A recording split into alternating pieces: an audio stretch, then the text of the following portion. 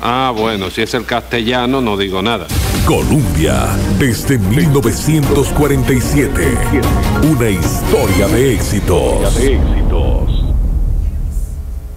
Hablando claro, hablando claro. La plataforma de análisis, opinión y autocrítica con Vilma Ibarra. Hablando claro, hablando claro. Aquí en Colombia 98.7. Hablando claro, hablando claro. Inicia en este momento. Colombia. Con un país en sintonía, son en punto las 8 de la mañana. ¿Qué tal? ¿Cómo están? Muy buenos días. Bienvenidas, bienvenidos a nuestra ventana de opinión. Hoy es jueves. Hoy es el último día hábil de sesiones del Congreso eh, Constitucional 2018-2022.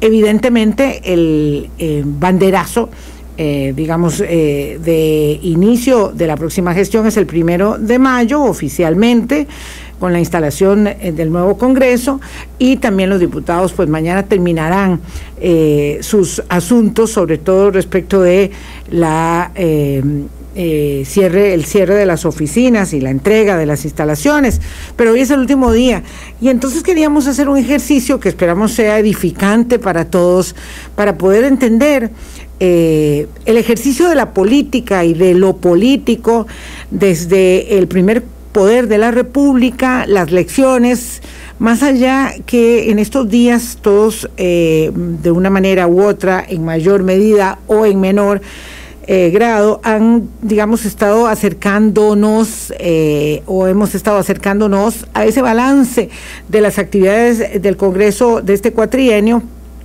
con muchos informes, reportajes de los medios de comunicación, un poco lo que queremos hacer en este espacio es extraer algunas de las lecciones eh, de las personas que llegaron ahí con un gran baúl de ilusiones y esperanzas y ahora salen con un gigantesco equipaje de experiencias aprendidas que pueden ser, mm, digamos, eh, y deberían ser de utilización para todos. Entonces, bueno, nos pusimos a pensar a quién queríamos invitar a este espacio y decidimos traer a la mesa de la conversación a dos eh, legisladores muy jóvenes, que ahora son muy jóvenes con mucha experiencia política.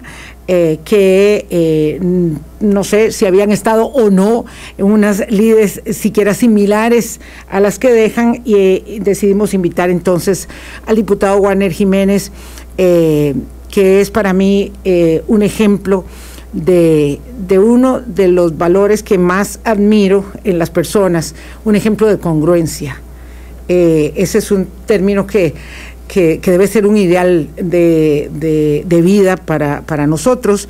Eh, y bueno, y también a la diputada Laura Guido, Warner Jiménez es de Liberación Nacional, Laura Guido del Partido Acción Ciudadana, eh, la minoría más importante del Congreso es eh, la que eh, queda conduciendo y la que manejó también gran parte de las decisiones de este cuatrienio, que es la de Liberación, la de Warner, un diputado de zona rural, Laura Guido, una diputada de un partido que desaparece, de zona urbana, en fin, hombre, mujer, de zona rural, de zona eh, central, eh, de partidos distintos, con experiencias eh, que pueden coincidir, ellos son los que nos van a acompañar. Ya Laura está este, justo llegando y ya, ya se incorpora con nosotros.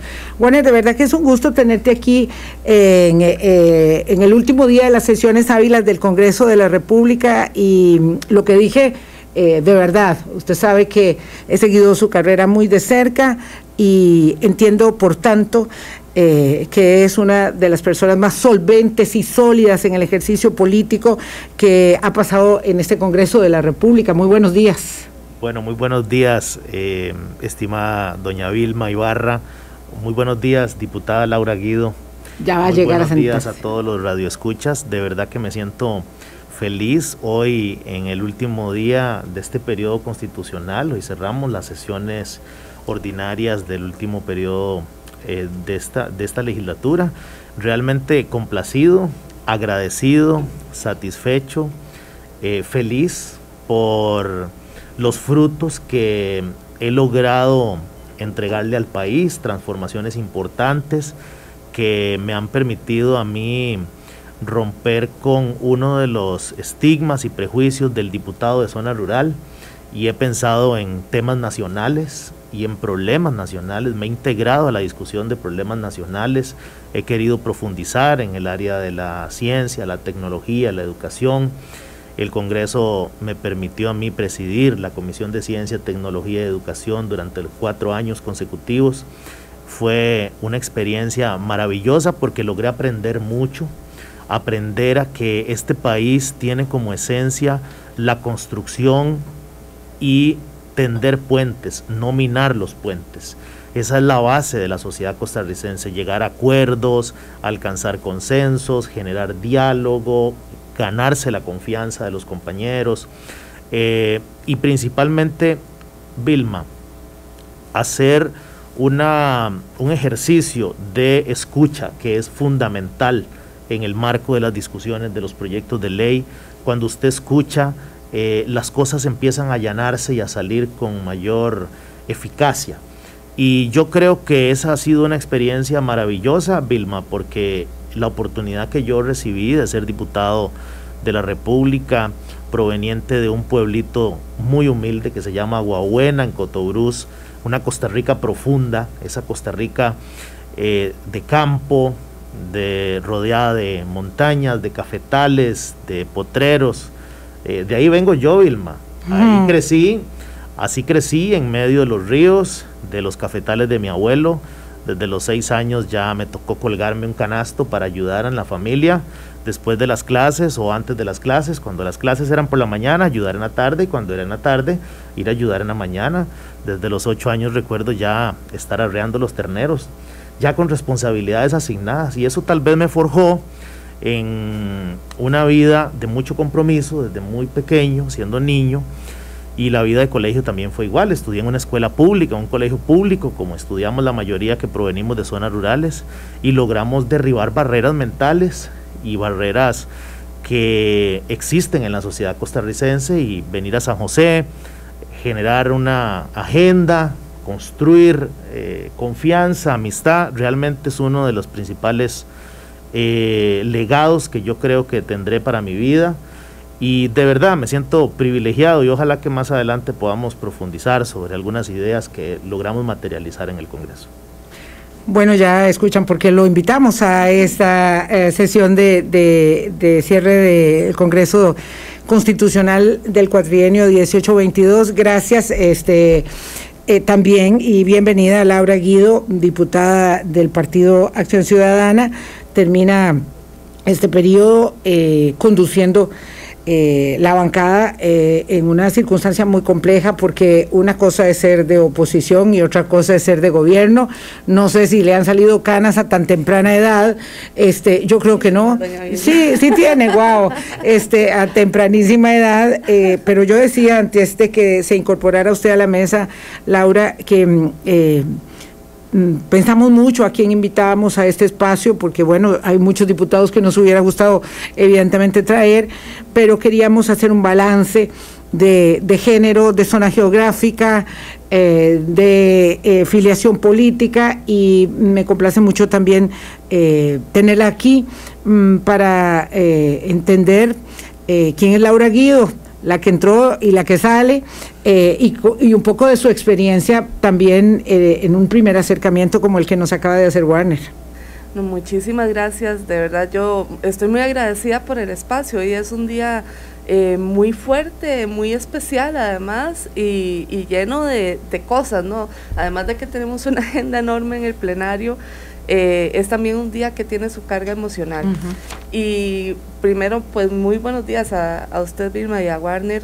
Eh, ha sido una experiencia muy interesante esta, este paso. Yo soy una muchacha de Turrialba eh, que se formó gracias a la educación pública.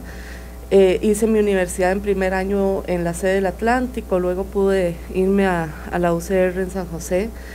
Y viniendo de donde vengo y habiendo tenido estos, estos quizás eh, contrastes en la vida, ¿verdad? De, de, venir de la zona rural y tener que emigrar para obtener eh, las oportunidades del estudio y del trabajo a la capital, he tenido pues el desafío y el privilegio de conocer la Costa Rica de distintos rostros. Creo que eso me ha acompañado mucho en este paso y ha sido en lo personal de muchísimo crecimiento y hay que también decirlo, la política es muy retadora, especialmente cuando se ejerce desde la responsabilidad. Yo creo que para levantarse y decir cualquier babosada, este, eso cualquiera lo hace, ¿verdad? Pero cuando la responsabilidad la tenemos clara de que lo que decimos constituye realidades, por ejemplo, en lo financiero. Si nosotros salimos con alarmismos a dar anuncios insustentados, podemos alarmar y crear realidades por las desconfianzas que provocamos en los mercados. Que la responsabilidad que proyectamos en cómo legislamos también da paz a una sociedad y a, y a, la estabilidad económica del país. Eh, que puede llegar una a muy recibir hostilidad o ataques o, determinadas actitudes que no, no caen bien y tener que aguantárselas porque al final el bienestar está o la responsabilidad está en mantener una posición que genere confianza, tranquilidad y ayude al país a transitar a un buen puerto. Eh, para mí en, en materia de fondo, de trabajo, de, agenda, el aprendizaje ha sido enorme, pero lo ha sido más en materia de, responsabilidad y de humanidad, quizás, eh, de cómo somos los seres humanos en aquel pequeño colegio que llamamos el plenario legislativo, la dinámica de la totalidad de, de los miembros, cómo se comporta cada persona. Eh, y cómo se construye con cada uno y cada una de ellas, que cada uno es un, mundo aparte además. Y eso pues ha sido una experiencia bien interesante. Hemos tenido extraordinarios aliados para trabajar desde esa premisa de la responsabilidad. Warner ha sido uno de ellos. Eh, y hemos tenido enormes desafíos con personas que nunca entendieron, ¿verdad? Pero al final creo que las, la valoración... ¿Nunca entendieron qué? que entendieron algunos temas de responsabilidad, por ejemplo, que siguen hablando en contra de los préstamos de apoyo presupuestario, eh, que siguen diciendo que eso es más deuda, que siguen mintiéndole al país, que alimentaron las voces de grupos antisistema en contexto de pandemia. Este, que fueron la ruta de canalización de los mensajes anticiencia y de las noticias falsas. Eh, y afortunadamente son minoría, afortunadamente, eh, pero que, siguen representando ¿verdad? ese desafío de cómo se trabaja para poder llevar a un conjunto de personas y poder mantener siempre la balanza inclinada hacia un lado que esté más hacia la responsabilidad. Sí, oyéndolos a ambos, eh, me gustaría que elaboraran conjuntamente este tema de lo que implica desde la oposición y, desde el oficialismo, tal vez se, eh, interpreta que desde el oficialismo ya está el autosilencio, la autocontención, digamos, de por medio, no siempre es así, pero en general, eh, y se interpreta que desde la oposición lo que cabe es eh, dele duro, pegue fuerte, ¿verdad? Entonces, ¿qué significa desde la responsabilidad este, de, de la convicción?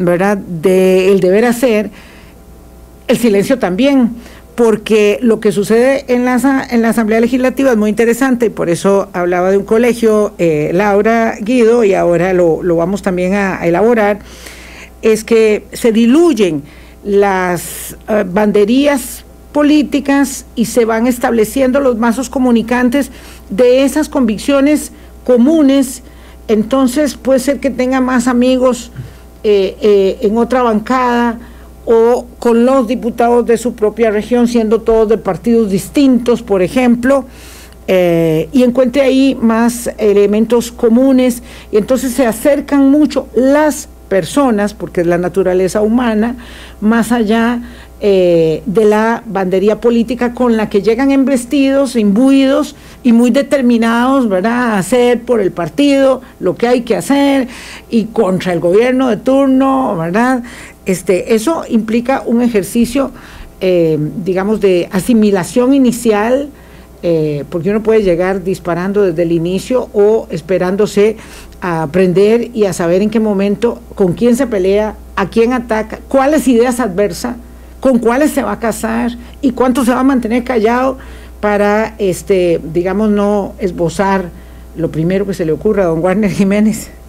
Bueno, Vilma, yo creo que una de las consideraciones que debería hacer siempre la oposición es uno de los consejos que siempre ha dado don Rodrigo Arias, diputado electo.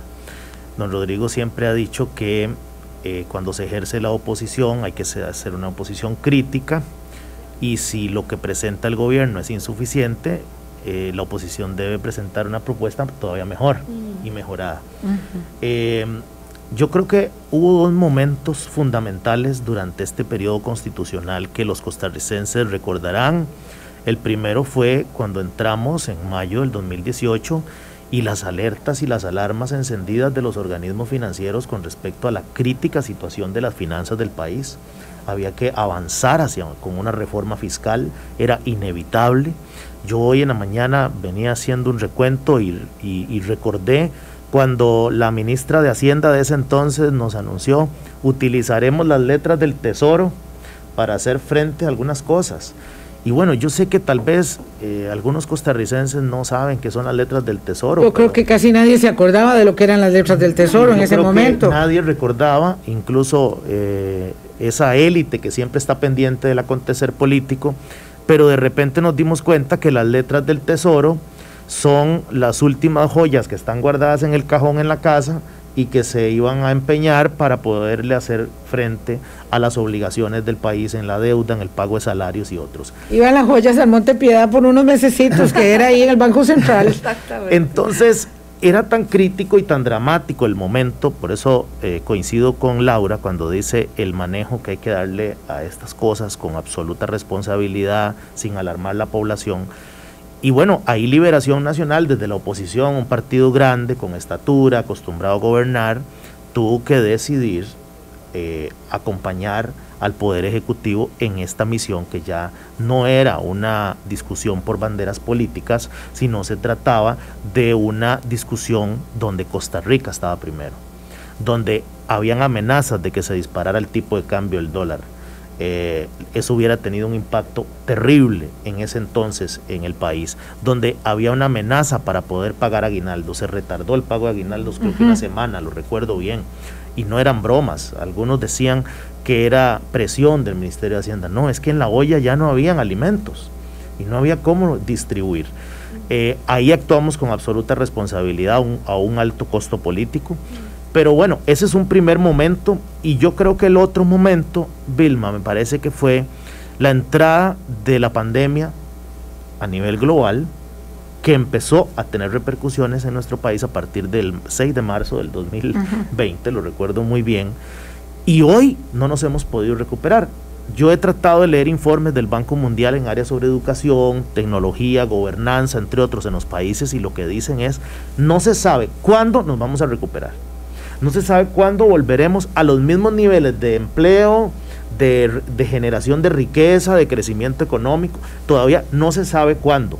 Yo creo que los que van a lograrlo más rápido van a ser los países, obviamente, más desarrollados, pero los que estamos en vías de desarrollo, estamos invitados a ser muy audaces, muy creativos, para que aprovechemos eh, estos cambios y estas transformaciones que se están dando en el planeta y podamos atraer inversión extranjera a través de la tecnología, que me parece que es una revolución sorprendente, la que se aceleró con la entrada de la pandemia, nuevos negocios, murieron muchos negocios, pero hay oportunidades de la apertura de nuevas ideas de negocios. Y entonces yo creo que estamos ahí, no puedo decir que ese periodo ha terminado, la pandemia no ha terminado, Aquí estamos con mascarilla los tres en este programa.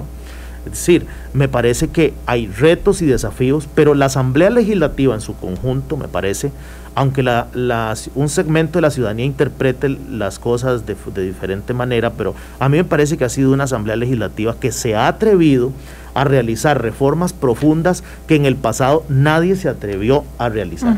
Le voy a dar dos ejemplos. La reforma fiscal. Mm. La reforma fiscal empezó con don Abel Ustedes recordarán cuando don Abel planteó la reforma fiscal. Se lo trajo abajo la sala constitucional, recordarán ustedes.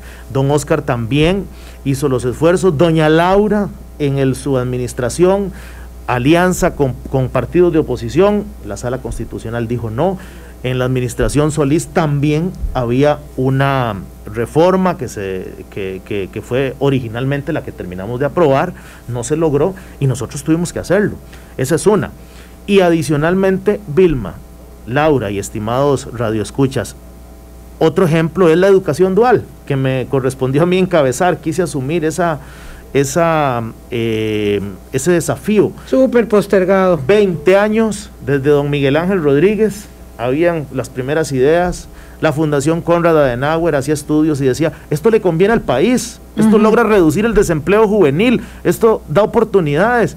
Y bueno, nosotros en este periodo constitucional lo logramos. Sí, hay una bolsa enorme de iniciativas. A mí me gusta siempre recordar el tema de la aprobación del reglamento legislativo porque es sustantivo, sustantivo. La y costó muchísimo. De todo lo que se pudo. La llave habilitante. Laura, quisiera que elaboraras ahí en la continuidad de Warner. Claro, eh, precisamente iba a empezar por el, por el reglamento legislativo, eh, que permitió cambiar además la forma de hacer política y de incidir en la agenda.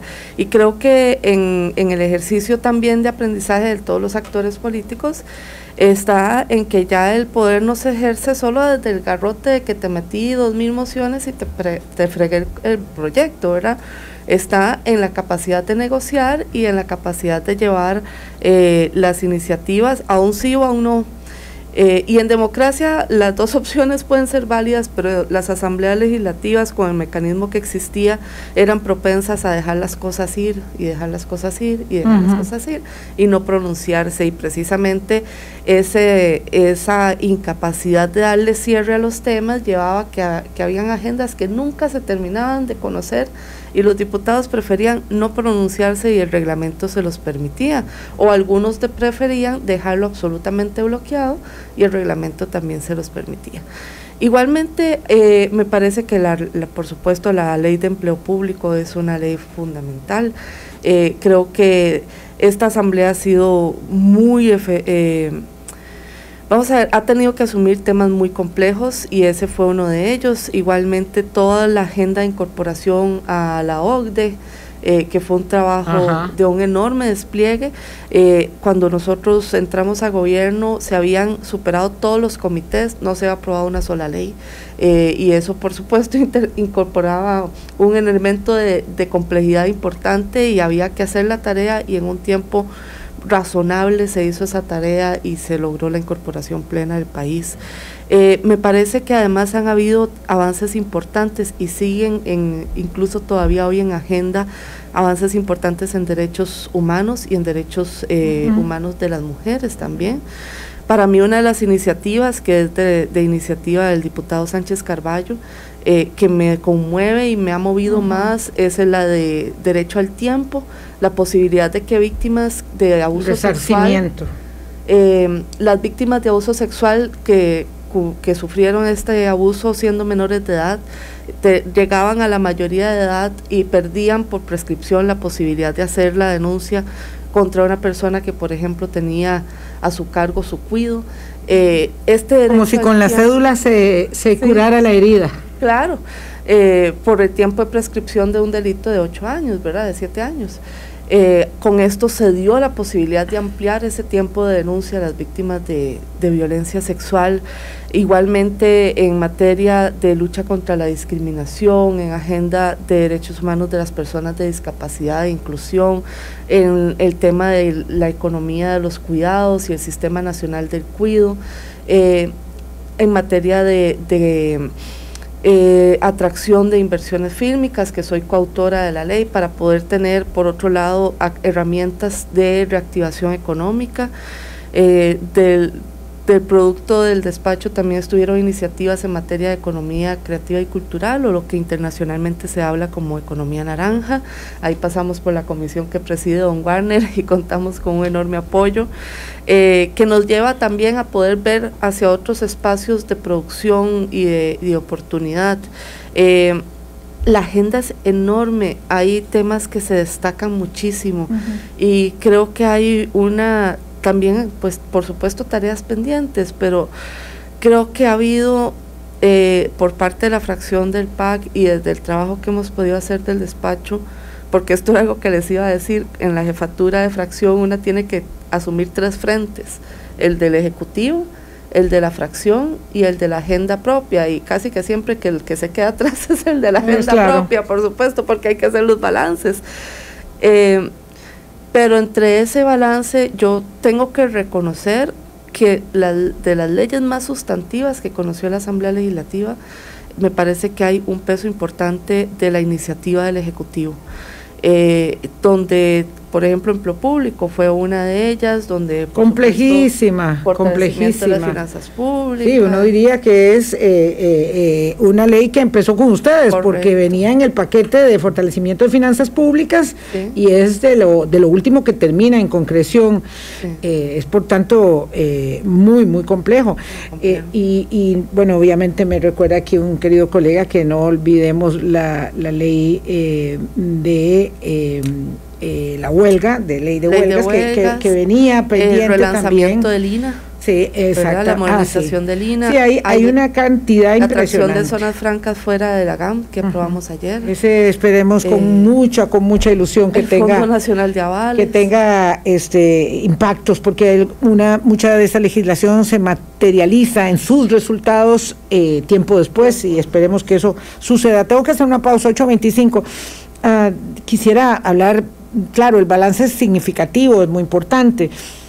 Eh, hablar también eh, desde la perspectiva del crecimiento personal y político, hacia dónde eh, ustedes hoy, que ya van con el título de graduación en la mano, pueden apuntar, pueden señalar la necesidad de cambios, porque los cambios realmente cuesta mucho hacerlos. Esto del reglamento legislativo permite establecer eh, esos puntos de mejora que tiene el Congreso y muchos tienen relación con cosas que no pueden hacer, eh, que sí pueden hacer eh, los diputados, por supuesto, con cambios de ley sustantivos, cómo reformar la conformación legislativa, cómo mejorar la calidad de la representación, porque hay grupos subrepresentados.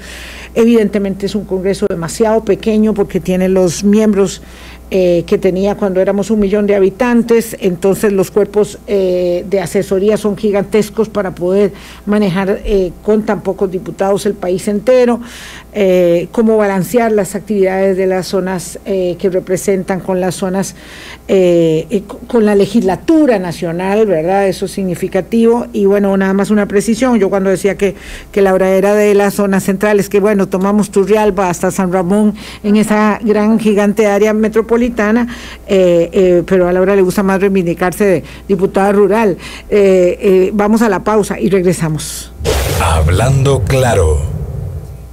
Atención, atención, mucha atención. Ahora en Grupo Mutual puedes solicitar créditos para empresas con el servicio y agilidad de siempre. Contáctenos. Queremos conocer las características y necesidades de su empresa para elaborar el plan financiero que le haga llegar cada vez más lejos.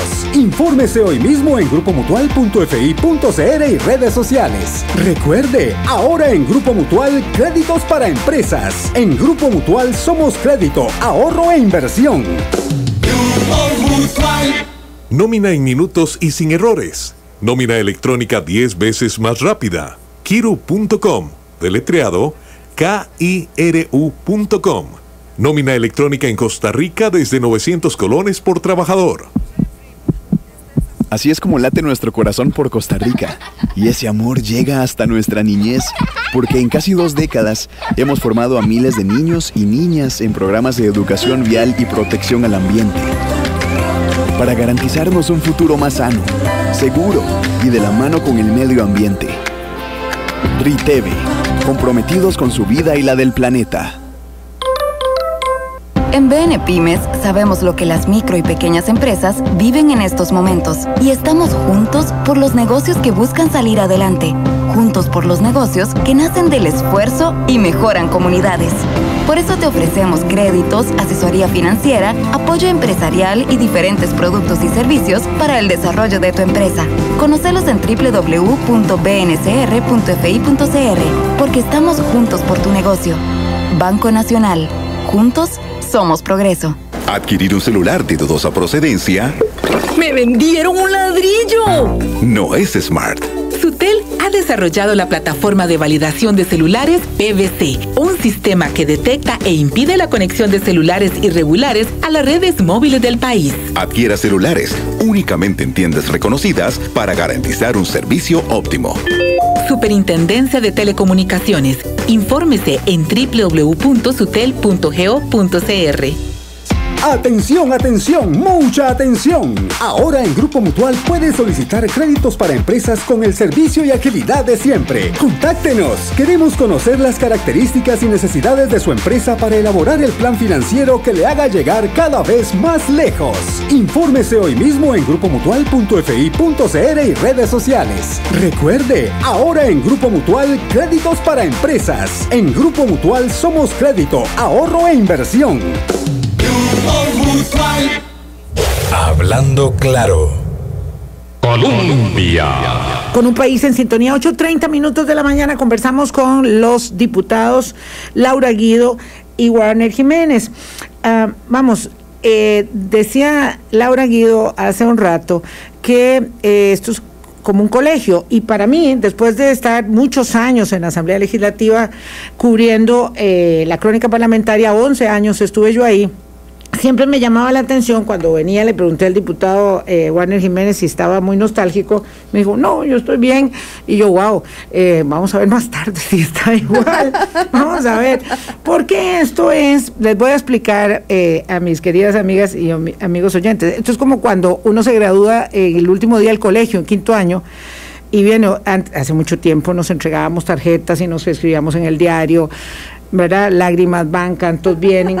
Eh, y resulta que, bueno, hay esta cosa, ¿verdad? Que es, es, un colegio, ¿verdad? Es un colegio parlamentario y este es el último día de clases. Aquí el que rindió, rindió, el que se quedó, se quedó.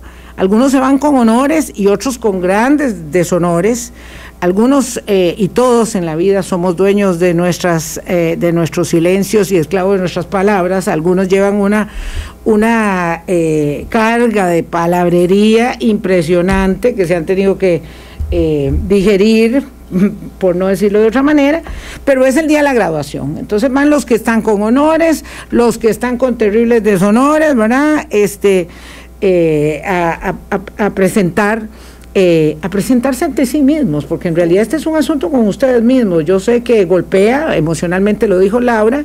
Eh, me gustaría una, una, reflexión, pero entre, entre ustedes dos, de a poquito, para que los dos puedan hablar eh, sobre esto, este significado. ¿Cuánto cambia un ser humano pasando por este aro? Se habla muy mal de la política, pero yo quiero reivindicar que necesitamos gente buena en la política. Y bueno, es parte de la razón por la que los invité a ustedes, porque entre muchos otros legisladores estoy convencida que son de lo más valioso eh, de este cuatrienio. Don Warner. No, yo creo, Vilma, que esas aproximaciones son muy certeras. Me parece que hoy es la graduación. Em, y bueno, pues definitivamente es una despedida que trae, por supuesto, remembranzas a lo largo de los cuatro años. Laura, vos sabes que al final aquí yo creo que la receta está en que los cuatro años por el Congreso generen enemigos de mentirillas y amigos de verdad. y si usted sale así, va bien y después esa satisfacción que tiene que ver, ¿verdad, Laura? con el rigor, con el estudio, con el esfuerzo sobre una iniciativa de ley, eh, darle seguimiento a un proyecto. Vilma, presentar un proyecto es muy fácil. Es más fácil que hacer una tarea de, la escuela. Eh, usted puede redactar la exposición de motivos en media página y modifica un transitorio de algo y ya eso es una ley de la República. Eso es una facultad que solo tienen los diputados. Pero darle estudio, buscar las estadísticas, por qué este proyecto es necesario, cómo impacta en la vida de los costarricenses, si es un proyecto de tecnología, educación, cómo va a mejorar el sistema, cómo va a hacer que el Estado sea más eficiente, más transparente, Laura. Yo creo que ahí es donde eh, también está la esencia de avanzar con, con, las iniciativas y sentirse uno pleno al final de, de, de los cuatro años. Yo, yo coincido con vos, Warner y, creo que el, el, balance que hace Irma es muy adecuado. Cuando yo hablo de un colegio, también me refiero fundamentalmente a, la, a esta dinámica que has mencionado, pero además somos los mismos 57 este, en el mismo salón durante cuatro días de la semana, durante cuatro años.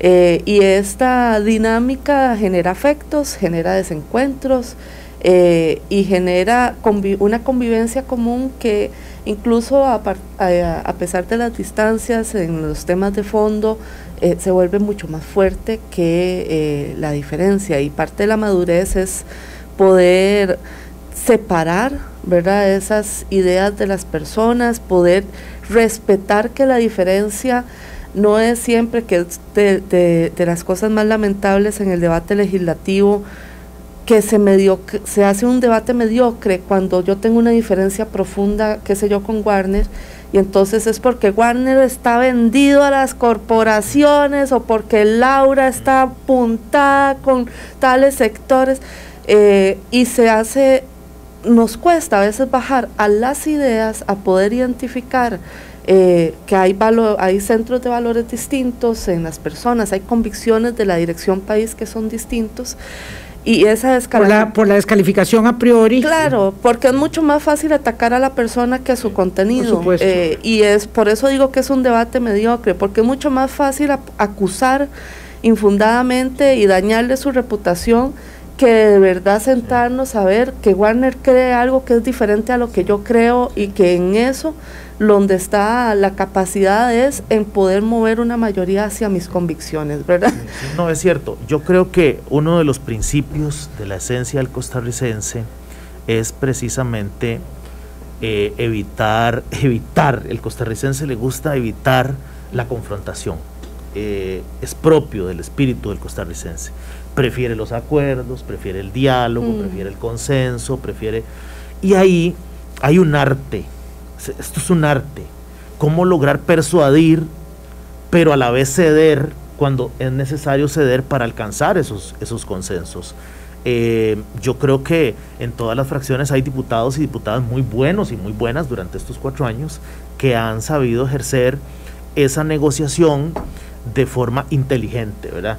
esa rigurosidad, Laura, que, que, mencionabas vos y, y sobre todo como propósito fundamental la conveniencia nacional. ¿Esto le conviene o no le conviene al país? Cuando pasa por ese tamiz, incluso a veces, Vilma, Laura, hasta de sentido común, ¿esto le conviene o no le conviene al país? Estos son los riesgos, estas son las ventajas. Bueno, vamos para adelante, no, mejor pausemos, reposemos la discusión. Yo creo que ahí, en ese, en ese eh, ejercicio, donde donde hay una primacía del sentido común, las cosas pueden caminar mucho claro, Claro, ahora voy yo como, como pato de la fiesta diciendo, claro, eso suena muy bien, eso lo hacen unos, pero no otros. Ah, Entonces, digamos, yo tengo algunos sinsabores. Eh, y Laura hizo referencia a uno que no puedo dejar de lado. En esta Asamblea Legislativa, con muchos aciertos, se dejaron pasar por pura mezquindad préstamos de apoyo presupuestario para el canje de la deuda. Nosotros le dijimos al Banco Interamericano de Desarrollo, ¿sabe qué? No, gracias.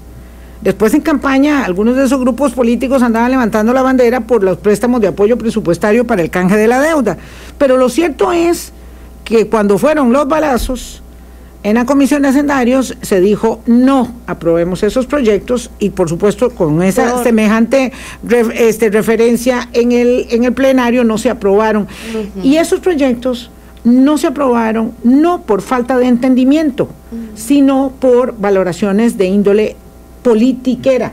Entonces, esas consideraciones están ahí, obligan a tragar grueso, ¿verdad? Porque, porque por ejemplo, el diputado Warner Jiménez estaba a favor de esos empréstitos pero resulta que su bancada dijo que no, mm. o otras, u otras bancadas también. El Ejecutivo es mínimo, ¿verdad? Tiene muy pocos diputados, entonces de ahí hacía lo que podía, pero no le daba el músculo y trague también.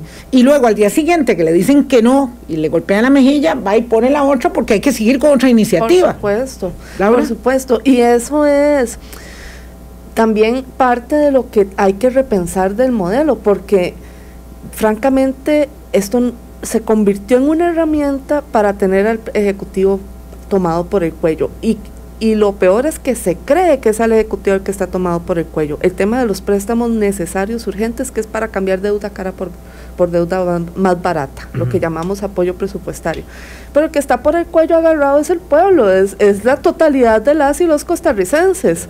Y, y, por supuesto es un recurso de poder que las mayorías parlamentarias yo creo que han abusado, doña Vilma. Claro, yo escuchaba, perdón que, la tenga que interrumpir brevemente, pero escuchaba al economista Gerardo Corrales diciendo, bueno, el gobierno hizo bien la tarea en la contención del gasto, el gobierno hizo bien la tarea en eh, la, la, mm, este, mm, eh, erogación eh, eh, y en la recaudación, en la mejora recaudatorio.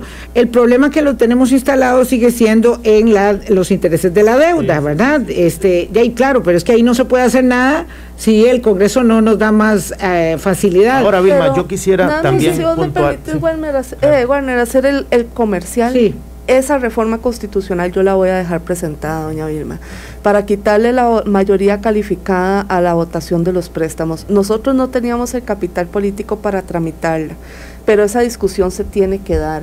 No puede ser que en la Asamblea tenés que estar dependiendo permanentemente de 38 votos para poder bajar el costo de los intereses de la deuda, cuando otros países del mundo lo que hacen es una incorporación directa de Excelente. Reforma constitucional, Laura. Muy bien, bueno, yo quisiera, yo quisiera eh, decir que efectivamente fue un error cuando se rechazó el crédito con el BID, aunque yo estuve a favor. Sí. Sin embargo, Vilma, no podemos circunscribir ese, ese ejercicio y esa práctica una, únicamente a este periodo constitucional. Claro, claro. Si usted se va para atrás, usted recordará diputados de oposición en gobiernos de liberación con eh, carretillos de mociones, haciendo lo obstaculizando el TLC, obstaculizando cosas que le convenían al país. Claro. Entonces yo creo que esa crítica siempre ha sido para la oposición, ¿verdad? no, no específicamente para, la oposición de este periodo constitucional, porque en el pasado también, cuando estoy del otro lado de la acera, aprovecho y lleno de emociones y obstaculizo discusiones que son de conveniencia nacional. Pero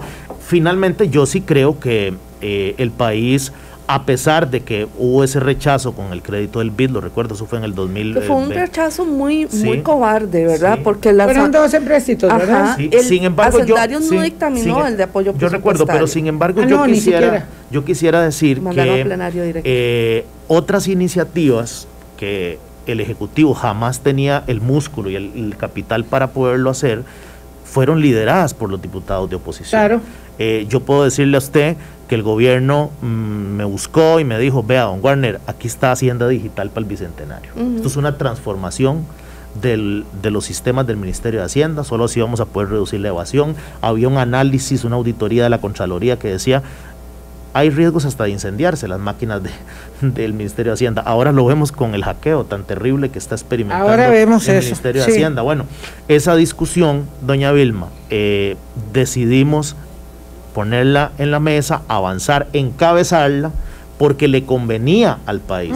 Si bien es cierto, los resultados de Hacienda Digital nunca fueron proyectados para verse en, estos, dos, tres años.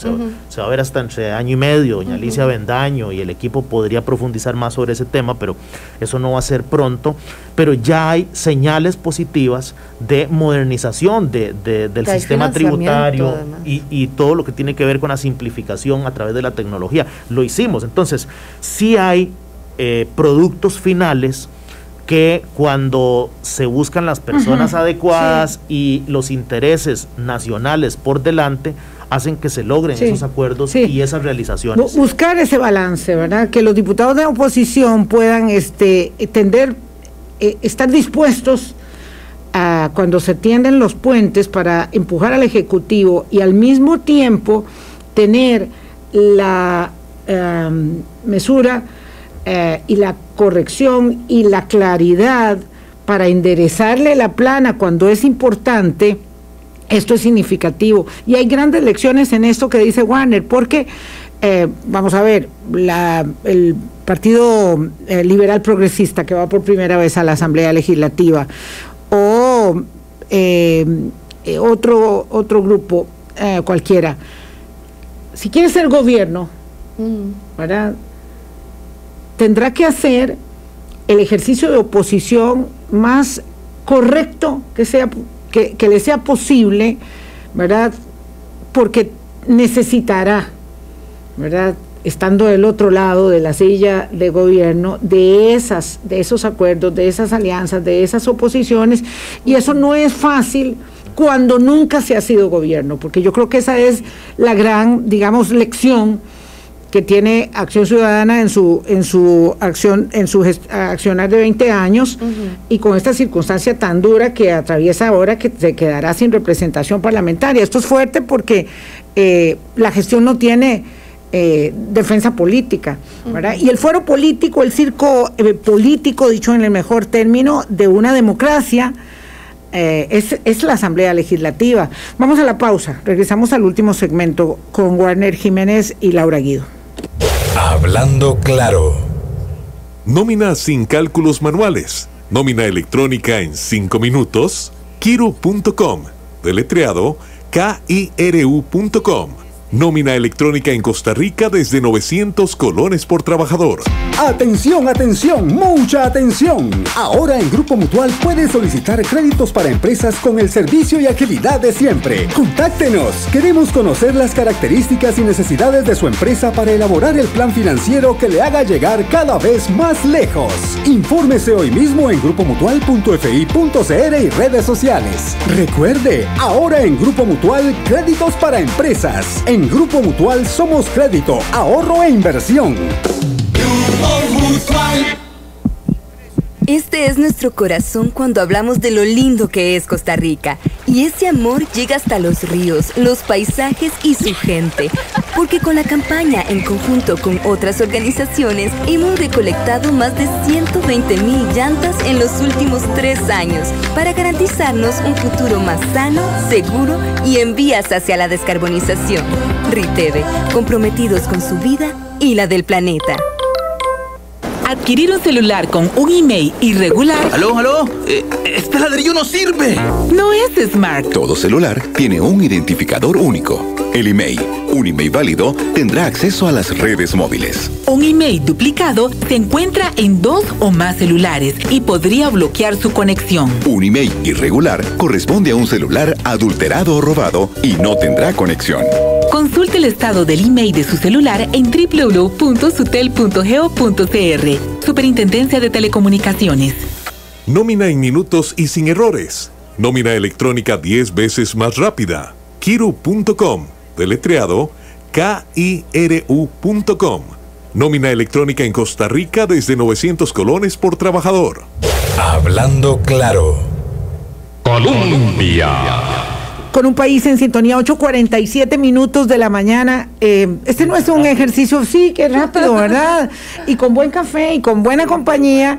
Este, lo cierto es que se va rápido el tiempo. Em, este no es un ejercicio exhaustivo porque nos queda todo, todo para muchas conversaciones. Además, cuando a uno le gustan los temas, uno quisiera seguir hablando de ello. Eh, sus lecciones, a ver, ¿qué, ¿qué, le dicen ustedes a los nuevos diputados? Y además, ¿qué piensan que podríamos hacer para mejorar este sistema que está enfermo? Porque el sistema político costarricense es un hecho incuestionable, está enfermo eh, desde eh, los partidos políticos que están en esta crisis tan severa. Entonces, ¿cómo hacemos para reparar esto? Yo les digo, no dejo de sorprenderme por la eh, cantidad y la calidad de las leyes que aprobó este Congreso. Siempre digo que es un Congreso muy ambivalente. Eh, me dejan algunas, muchas dudas, ¿verdad? Eh, deudas, perdón, porque no había tiempo para todo, pero mi deuda fundamental tiene, tiene que ver con el tema del narcotráfico y la forma que se abordó. Y creo que ahí es, es penoso y cómo no se ha podido mejorar tampoco la elección de los magistrados, eso también me, duele mucho, ¿verdad? Son deudas que quedan ahí pendientes. Y luego, bueno, el problema es que a veces hay unos que hacen circo y eso genera mucha atención de los medios, ¿verdad? Eh, y eso también es triste porque entonces eh, pues la cosa de la gasolina es un, es un, es un gran lunar eh, es demasiado grande, eso habría que quitarlo también. Eh, y bueno, ni qué decir de, de, la cuestión esa de las fotos y de las placas y de los pleitos y de los gritos, cuando hay gente que no sabe que lo que está haciendo es representando al país en su conjunto y al hacer un exabrupto, eh, pues evidentemente genera una gran atención mediática y por ahí se va el fondo por la forma. Doña Laura. Primero, creo que sigue siendo muy retador ser mujer en política. Y yo tengo que partir de ese reconocimiento. Casi que una entra a empezar a, a crear una credibilidad porque se parte de que usted no sabe, de que usted no ha estado, que usted no, no tiene el mismo control de los temas y de la agenda eh, que tienen sus pares. Mire, vea, doña Vilma, una de las cosas que a mí más me frustró de ser en este periodo como jefa de fracción es tener una discusión donde yo digo A y se, se, me viene todo el mundo encima y a la par viene un hombre a decir lo mismo que acabo de decir y es que extraordinaria idea acabas de poner sobre la mesa. Ejemplo, ¿Todavía? todavía, sí, claro, y, y, es un ejercicio que ni siquiera es autopercibido por quien lo ejerce, ¿verdad? Entonces si una lo pone sobre la mesa, la reacción se vuelve todavía más hostil, por lo que una simplemente se vuelve muy práctica. Eh, yo quería A, me dijeron que no, el otro quería A, él le dicen que sí, este, dejémoslo ser y no nos comamos este pleito de hacer notar que era la misma idea y que lo que cambió fue simplemente el emisor y su género. Eh, también me quedo con, la pena de que hay exabruptos legislativos que son muy feos, como el, drama de, las placas, que a mí me dio mucha pena, la Mucha vergüenza ajena. Este, pero también que hay una prensa que es muy farandulera. Y yo tengo que decirlo también, ese mismo día se aprobaron 12 segundos debates. Eh, sustantivos, además, habían temas gruesos, ahí estuvo aduanas, eh, estuvo, eh, creo que fue el mismo día que vimos el primer debate de zonas francas fuera de gama. En fin, ese énfasis en el exabrupto, opacó totalmente las noticias de fondo y costó la espectacularización de la política, la política como el circo, nada más. Y al final de cuentas, creo que la lección más importante que puedo yo dejarme acá es algo que en mi partido siempre se ha dicho, pero que ha cada vez tomado un valor distinto, que es primero patria que partido. Y yo creo que con esa consigna de que primero están los intereses superiores del país eh, y que fue parte, prácticamente nuestro estandarte para poder hacer una política desprovista de un cálculo electoral que cuesta lo que costó, eh, pero totalmente direccionada a dejar un país transitando por una mayor estabilidad, tranquilidad, en condiciones que parecían inalcanzables en términos de estabilidad fiscal y económica, este, con un rumbo hacia la recuperación post pandemia, con la reactivación económica y demás, este, eso es una muestra de lo que tuvimos que hacer de los y es la mejor recompensa de poder haber dejado un país en condiciones mucho más pacíficas en todos los términos que el que recibimos, eh, por haber cumplido con eso, primero patria que partido, y para mí eh, la capacidad de los sectores políticos de hacer la política desde ese lugar es la que determina la capacidad de tomar los grandes acuerdos, los acuerdos desafiantes y valientes. Dos minutos porque ya se nos acabó el tiempo, don Warner. Bueno, yo para responder a su pregunta final, eh, doña Vilma, quisiera decirle que ha sido muy desafiante eh, estar en Asamblea Legislativa eh, con los prejuicios que tenemos los jóvenes que entramos mm. a la política. Y los jóvenes de zona rural, rural, más. Y, cuando venís de zona rural, más, cuando no tenés un apellido que te respalde, cuando no sos de la élite, eh, hay que desafiar todas esas barreras mentales, parece mentira, para que el mensajero se convierta en una persona acreditada. Y eso requiere de un esfuerzo personal muy grande, de estudio, de dedicación, de ser congruente, como usted lo decía al inicio. Pero finalmente yo creo que eh, sí se pueden hacer cosas. Vilma, aprobamos educación dual, reformamos la ley orgánica del INA, aprobamos un examen de idoneidad para verificar los conocimientos de los futuros educadores. Sí, eso va a ser muy importante la también. Calidad de la educación, creamos la Agencia Nacional de Gobierno Digital, aprobamos Hacienda Digital, proyectos de impacto en la vida de los costarricenses. Así que mi mensaje para el próximo periodo constitucional, los 57 nuevos diputadas y diputadas, es que tienen que conversar profundamente sobre el país que podemos sostener, el país que podemos eh, recuperar de este impacto tan fuerte de la pandemia. Creo que la próxima legislatura tendrá que tomar decisiones también profundas en el marco de la agenda del Fondo Monetario Internacional y la estabilización de la macroeconomía, pero también tienen la misión importante de empezar una agenda para reducir la desigualdad en nuestro país. Hay brechas grandísimas territoriales, brecha digital, brecha de género, como lo decía Laura, brecha en todas las dimensiones casi eh, que se puedan ampliar. Es como es posible que hoy no haya conectividad en algunos territorios, que no tengamos oportunidades de empleo en las zonas rurales. Y yo creo que esa agenda está en manos del Poder Ejecutivo, del Poder Legislativo, y ojalá que en los próximos eh, cuatro años empecemos ese camino de la recuperación y, y volvamos a tener ese país próspero con oportunidades para todos, no para unos cuantos, sino para todos. Muchísimas gracias. Me quedo muy enjuagada, como se decía antes, este, porque de verdad, y, ha sido un gusto conversar con ustedes. Eh, la política hay que, hay que reivindicarla, hay que eh, eh, congratular que haya personas idóneas que, que, lleguen a ella. Las necesitamos, cuesta, cuesta mucho. el Congreso es una gran pecera, siempre está abierta al escrutinio y como se mm, exacerba tanto, en efecto, la espectacularización de los hechos políticos, entonces no se ve todo lo demás, pero lo cierto es que eh, un país eh, que no tiene una fuerza importante en, el, en, la arena política que se representa, que se refleja en el Congreso de la República, pues evidentemente no puede ser una democracia eh, que se precie y, y que sea sólida con todas eh, las vulnerabilidades o bemoles o críticas que tengamos para con ello, eh, de eso depende nuestra democracia. ¿Usted me permite enviar un saludo? Ya, Quiero saludar a mi papá y a mi mamá que me están viendo, escuchando, les mando un beso. Yo también los saludo, qué lindos. un gran hijo tiene. Bueno, yo también los saludo. Es que ya hay todos, todos conocemos a los papás de Warner, en realidad, en realidad son personas muy famosas. bueno, de verdad, un saludo. Este, eh, un día yo quiero ir a Agua Buena. vamos, a conocer a Agua Buena, ¿eh? si es que le han hecho mucha publicidad. Desayunaremos gallo pinto, tortillas palmeadas, casera. Uy, qué rico. Bueno, nos vamos. Muchísimas gracias a los dos. Muchos éxitos. Hasta mañana. Pásenla ustedes muy bien también. Chao. Hablando claro. Hablando